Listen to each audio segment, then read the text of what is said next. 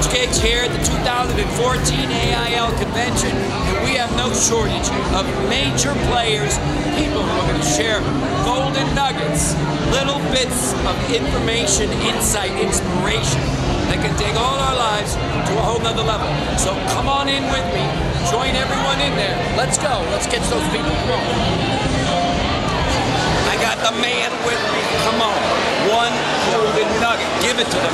You gotta you gotta mimic the masters, baby. You gotta follow the recipe to a T. If it counts for a quarter uh, cup of salt, you do a quarter cup of salt. You don't do close enough. So just mimic the masters. It's you know me and my wife were eating breakfast. She found this bomb uh, uh, casserole, and she's like, I wonder if they give me the recipe. We both looked at each other. We're like, probably not. They're so coveted, but here at AIL people share the recipe. They pass it down. They pass it down.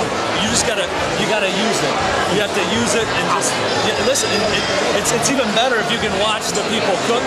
You know what I mean? So if you can watch your master in action, take the notes, follow it to a T. Oh, you got it, a golden nugget. That was. If you've enjoyed and feel the Daily Locker Room has served as an inspiration in your life, why not share it with a friend by sending them the daily message?